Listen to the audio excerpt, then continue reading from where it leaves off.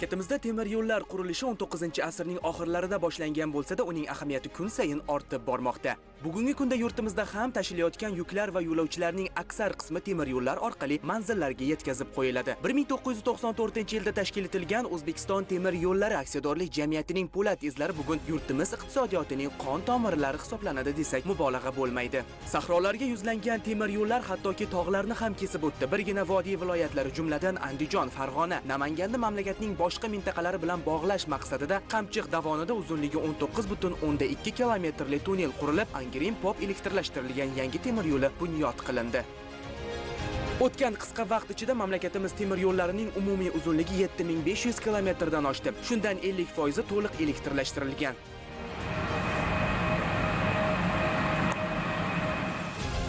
Bu yo'llarda yuk poyezdlari bilan birgalikda yo'lovchi tashuvchi poyezdlar ham harakatda. Ana shunday po'lat karvonlardan biri yuqori tezlikda harakatlanuvchi Afrosiyob zamonaviy poyezdidir.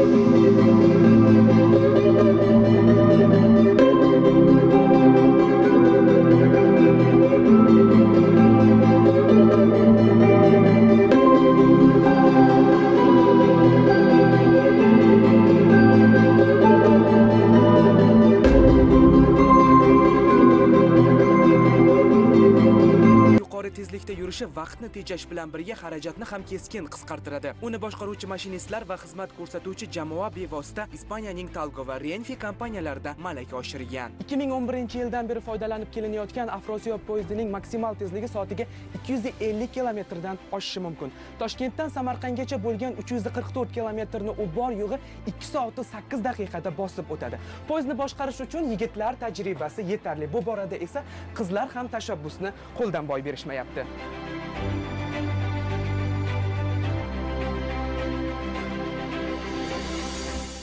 Bu kasbga juda ham qiziqishim paydo bo'lgan va a, so'raganimda a, ayol kishilar instruksiya bo'yicha bu kasbga qabul qilish mumkin emas deb aytishgan va keyinchalik prezidentimiz tashabbuslari bilan ayollarga ham bu kasbga topshirishga bizga imkoniyat yaratib berildi. Va man bundan juda ham xursandman farzandlarim ikkita katta o'g'lim bor besh yoshli va qizim bor. Ular har safar ketayotganda e, ishga ketyapsanmi poyezdga ketyapsanmi deb rosa xursand bo'lishadi. Shu poyezdni juda yaxshi ko'rishadi. Bu kasb men uchun juda qadrli. Bu formani kiyib yurish mashinistlarni oldida yordamchi bo'lib turish men uchun juda faxrli hisoblanadi. Ko'p qizlar yoshligida e, man tikuvchi bo'laman man doktor bo'laman desa man shu kichkinaligimdan temir yo'lga qiziqishim katta bo'lgani uchun man mashinist bo'laman deganman kichkinaligimda tug'ilgan kunlarimda ham otajonimlarga e, aytardim manga qo'g'irchoq emas mashina olib kelib bering derdim. Otajonimlar ham e, mashinalar olib kelib berardilar. To'g'risini aytsam birinchi o'sha mashinist pultiga o'tirganimda hayajon juda ham kuchli bo'lgan. Prezidentimiz tashabbuslari bilan biz yoshlarga berilgan imkoniyatlardan foydalangan holda biz yoshlar bugungi kunda juda yam tashabbuskormiz. Ya'ni ayollar ham erkaklar kabi har bir sohada tashabbuskor hisoblanadi. U xoh temir yo'l sohasida bo'lsin xoh quruvchilik e, xoh aviatsiya sohasida bo'lsin e, o'z mavqelariga ega. Misol uchun aytadigan bo'lsak toshkent cityda eng baland kranni boshqaradigan ayol kishi hisoblanadi. Bu sohamda ya'ni tillarni bilish kerakligi bo'lgani uchun man tillarni o'rganishga ham juda yam qiziqaman. Shu borada ingliz tili rus tilida bemalol mukammal so'zlasha olaman e, va kelajakda yurtimga kerakli kadr bo'la olishimga ishonaman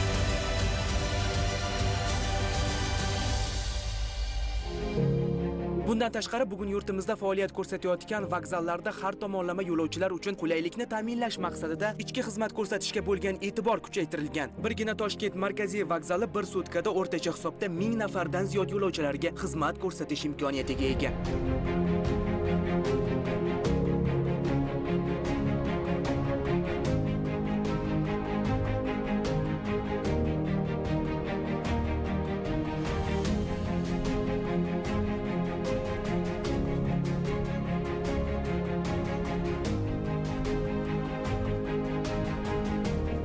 Kassalari ham 24 soat davomida uzluksiz ish faoliyatida.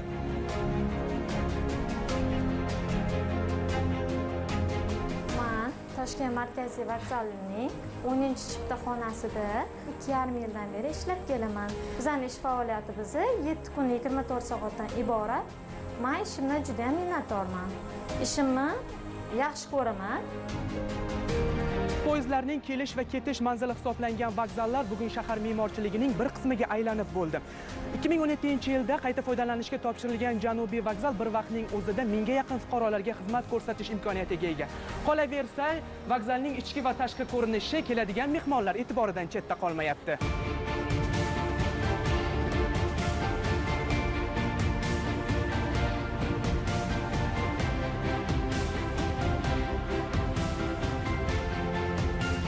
O'zbekiston temir yo'llari aksiyadorlik jamiyati tasarrufida bugungi kunda 33 ta vokzallar mavjud bo'lib bularning eng birinchi ishga tushganlari qo'ng'irot xo'jayli buxoro vokzallari hisoblanadi. Tog'lar bag'rida esa ko'l chodak kon temir yo'lobod stansiyalari hamda angren orzu pop kabi yangi vokzallar ham qurildi. Bundan tashqari qo'qon marg'ilon hamda andijon vokzallari to'liq qayta rekonstruksiya qilinib zamonaviy ko'rinish kasb etdi. Ular orasida namangan temir yo'l vokzali ham yangitdan barpo etilib shaharning yo'lovchilar uchun zamonaviy sharoitga ega bosh darvozasiga aylandi. Ta'kidlash lozimki ushbu vokzal binosi 1972 yilda qurilgan bo'lib 2002 yilda qayta rekonstruksiya qilingan edi. Vazirlar mahkamasining 2017 yil 9 iyundagi namangan temir yo'l vokzalini qayta rekonstruksiya qilish to'g'risidagi farmoyishiga asosan bu yerda o'zbekiston temir yo'llari aksiyadorlik jamiyati tomonidan qayta ta'mirlash ishlari olib borildi.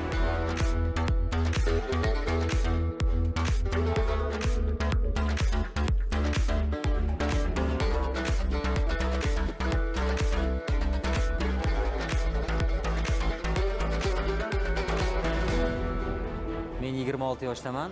Namangan viloyatida tug'ilib o'sdim. Temir yo'l sohasiga qiziqqanligim uchun 4 yil e, temir yo'l sohasida o'qidim.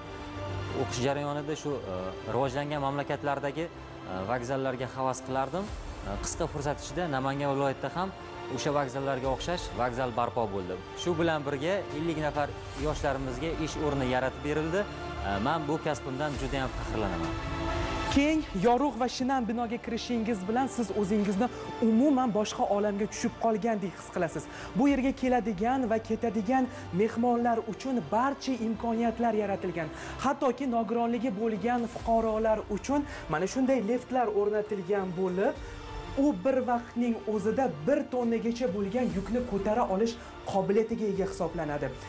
Zamonaviylik va milliylik ruhiyati va naqshlari aks etgan binoning ikkinchi qavatiga ko'tarilishingiz bilan siz kutib olish zalidan chiqasiz. Bu yerda mana shunday monitorlar o'rnatilgan bo'lib bu yerda siz ketadigan va keladigan poyezdlarning jadvali yangiliklar hattoki chiptalarni elektron tarzda xarid qilishingiz mumkin. Namangan temir yo'l vokzali bugun umuman yangicha qiyofa kasb etdi. U bir vaqtning o'zida 250 nafar bir sutkada esa 2,5 ming nafardan ortiq yo'lovchilarga xizmat ko'rsatish imkoniyatiga ega. Bir so'z bilan aytganda poyezd orqali keladigan yo'lovchilarga darvoza vazifasini bajaruvchi vokzal bugun o'z mehmonlarini kutyapti. Vokzalda kutish va komfort zallari bufet tibbiyot punkti ona va bola xonasi elektron ma'lumotlar markazi kutubxona milliy sovg'alar gazeta jurnallar shoxobchasi. Yuklarni vaqtinchalik saqlash xizmati kabi barcha bo'limlar zamonaviy antozalarda tashkil etildi. Bundan tashqari majmuaga qo'shimcha ravishda 30 o'rinli mehmonxona ham qurib bitkazilgan.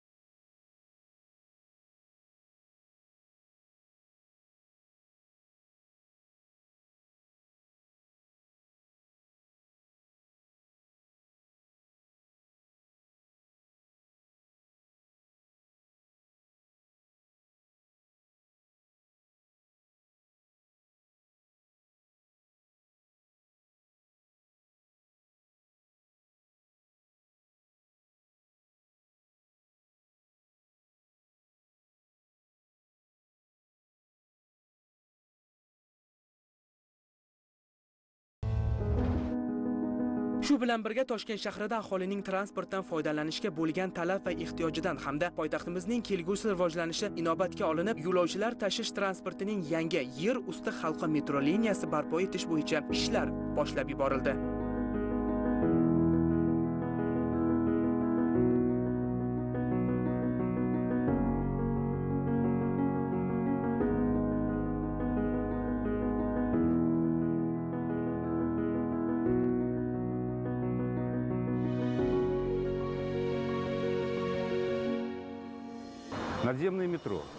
Usti metrosi dunyoning eng rivojlangan davlatlari orzusi hisoblanadi. Mana shu kunlarda va nihoyat bizning mamlakatimizda ham shu orzu ushalishni boshladi. Haqiqatdan ham birinchi marta O'rta Osiyoda uzunligi 55 kilometrga teng bo'lgan yer usti metrosi bunyod etilmoqda. Biz hozir metroning uzunligi 11 kilometr bo'lgan qismida turibmiz. Bu rostdan ham juda katta va mashaqqatli ish. Chunki hali Markaziy Osiyoda bunday uzun metro qurilmagan. Metro albatta yurtimizning ayniqsa poytaxtga tashrif buyuruvchi mehmonlarning uzog'ini yaqin qiladigan eng yuqori standartlarni o'zida jamlagan jamoat transportidan biriga aylanadi. Biz qurilishga kerak bo'ladigan birorta mahsulotni chet eldan olmadik. Barcha asosiy mahsulot o'zimizniki, O'zbekistonniki.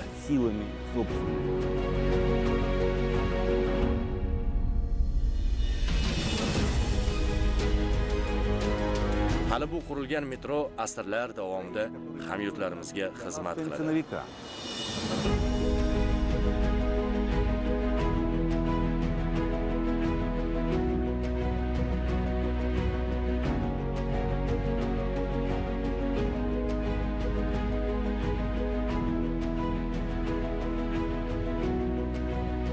Rejaga ko'ra poytaxtimizda bunyod etilayotgan umumiy uzunligi qariyb 52.1 kilometrdan iborat yer usti metrosi yo'nalishining 50.5 kilometri, balandligi 6 metrlik estakadalar orqali o'tkazilishi, 1.6 kilometri yer ustida qurilishi belgilangan. Loyihaning dastlabki bosqichi Toshkent metropolitenining Do'stlik 2 bekatidan Qo'yliq dehqon bozorigacha bo'lgan 7 ta bekatdan iborat 11 kilometrlik qismi bunyod etilishi mo'ljallangan. Ikkinchi bosqich Qo'yliq dehqon bozori bilan Olmazor bekatini bog'laydi. Uchinchi bosqich Olmazordan Beruniy bekatigacha bo'lgan qismi barpo etiladi. Keyingi bosqichda inshoot Beruniydan Bodomzor bekatigacha quriladi. So'nggi bosqich Do'stlik bekatiga ulanadi. Biz hozir mana yer usti Toshkent xalqqa yer usti metrosini ikkinchi e, bekatida turibmiz. Bu bekat e, ko'prik qurilish testi Umtar korxonasi tomonidan e, barpo etilgan. Mazkur qurilishimizda 3000 dan ortiq malakali ishchi xodimlar ishlagan. 1000 dan oshiq maxsus texnikalar yordamida foydalanib barpo etganmiz bu stansiyamizni. Bu stansiyamizni e, nomlanishi Ohangaron stansiyasi deb nomlanadi. Eng katta yutug'imiz bu tajriba orttirganimiz. И xalqimizni e, sharoitini e, hayotda bo'lgan maqsadini, xursandchiligini yanada ko'tarayotganimizdan xursandman.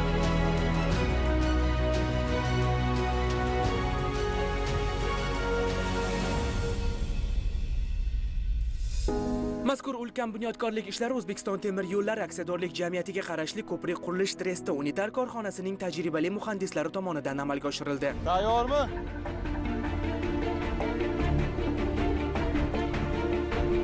Bundan tashqari Sergeli yo'nalishida ham ishlar qizg'in.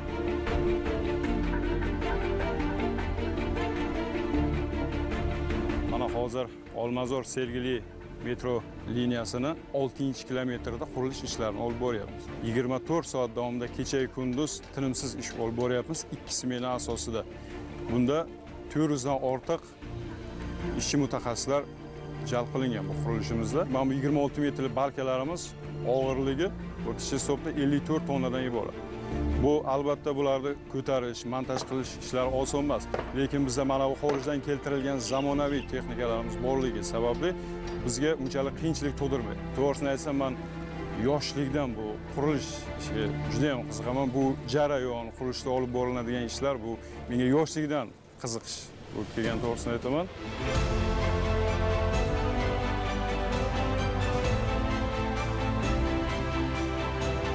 ochilgandan keyin birinchi metro yurishlarida xudo xohlasa ota onam olib kelib mana shu bir ularni ko'zlaridagi bir faxr tuyg'usini ko'rsam manga shuni o'zi yetadi deb o'ylayman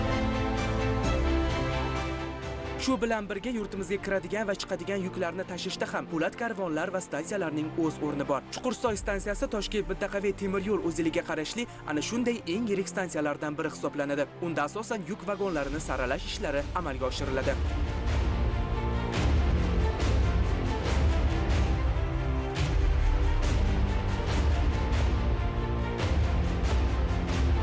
Stansiyamiz asosiy faoliyati O'zbekiston Respublikasiga kirib kelayotgan yuk vagonlarini saralash va manzillariga poyezd sifatida yetkazib berishdan iborat. Stansiyamizda 11 ta yuk qabul qiluvchi vagon qabul qiluvchi yo'llarimiz mavjud. bundan tashqari saralash uchun 26 yo'llarimiz mavjud bu saralangan tayyor poyezdlar bizning stansiyamizdagi 11 ta yuk jo'natuvchi yo'llarimizga olib chiqib jo'natiladi bundan tashqari bizning stansiyamiz salohiyatda kuniga 25 ta 30 ta juft vagonni qabul qilish saralash va jo'natish ega oy davomida 3000 ta vagon tushiradi va 3000 3,5 ming dona vagon ortamiz. Buni asosiysi o'sha qishloq xo'jalik mahsulotlari va boshqa o'zimiz davlat e, respublikamiz ishlab chiqarilgan mahsulotlar bo'lib eksport salohiyatini ko'tarish uchun yuk ortiladi ishlatiladi. Biz stansiyamizda e, mijozlarga qulaylik yaratish ovoragarchilikni kamaytirish maqsadida yagona oyna tamoyili asosida ish yuritamiz. Bunda e, tadbirkorlar ortiqcha ovoragarchiliksiz kelgan hujjatlarni yuklarni shu yerda tushirib olib hujjatlarni bir joyda rasmiylashtirib ketish imkoniyatiga egalar Ayni kunlarda ushbu stansiyada 210 nafardan ziyod ishchi xodimlar faoliyat olib boradi. So'nggi yillarda amalga oshirilgan bunyodkorlik ishlari tufayli stansiya binosi zamonaviy ko'rinishga ega bo'ldi. Stansiyada 4 ta manyovr teplovoz va bitta elektrovoz jalb qilingan. O'z yiliga qarashli yana bir yirik stansiya bu Nazarbek stansiyasidir.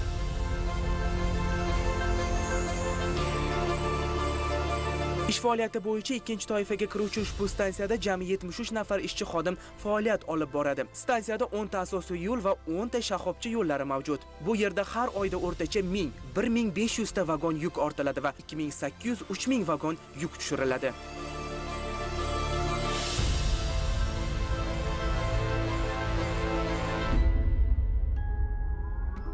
Bugun O'zbekiston temir yo'llari Buyuk Ipak yo'lining olmos rishtasi deya e'tirof etiladi. Bir so'z bilan aytganda millat faxri. Elning sha'ni hisoblangan bu yo'llarda mehnat qilayotganlarning ko'nglida faxr va iftixor tuyg'usi bisyor. ishimni juda ham yaxshi ko'raman. Men kasbimdan faxrlanaman. Man kasbimni juda ham yaxshi ko'raman. Men o'z kasbimdan faxrlanaman. Men kasbimni juda yaxshi ko'raman. Kasbimni juda ham sevaman. Men kasbimni juda ham yaxshi ko'raman. Men kasbimdan va temiryo'lchi bo'lganligimdan juda ham faxrlanaman. O'zbekiston temir yo'llari orzular, niyatlar va maqsadlar yo'lidir.